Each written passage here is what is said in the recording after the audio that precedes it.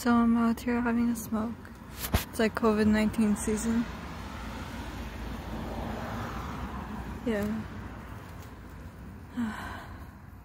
Shit. Haven't been like this high since like a while. Yeah, I just smoked some weed. Mm. yeah, there's like people around and stuff.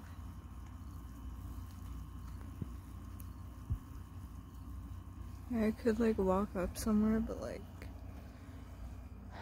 I don't know.